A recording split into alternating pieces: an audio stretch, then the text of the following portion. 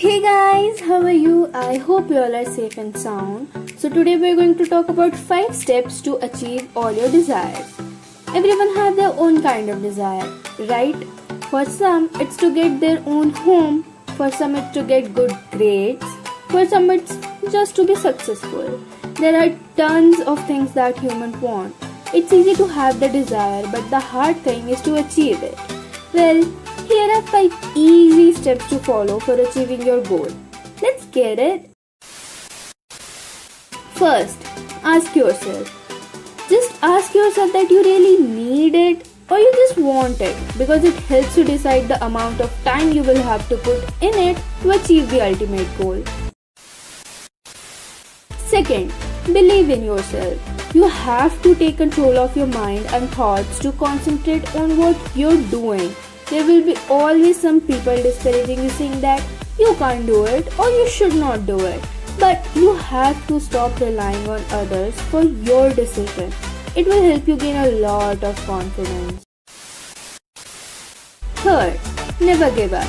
Start with baby steps and gradually grow up. There will be so many times you will receive rejection. But hey, there's always day after night light after darkness, and success after rejections. It is important for a person to receive rejection because it teaches you that you can do it better.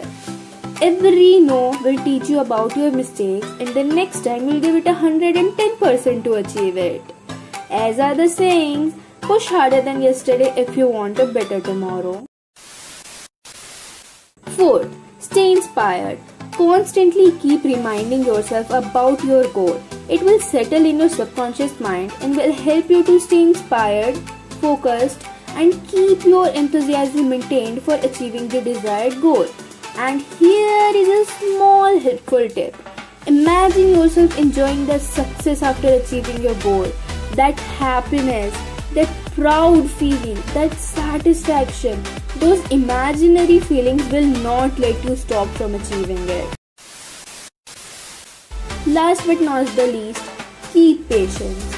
Everything doesn't come right away. You need to have patience for it.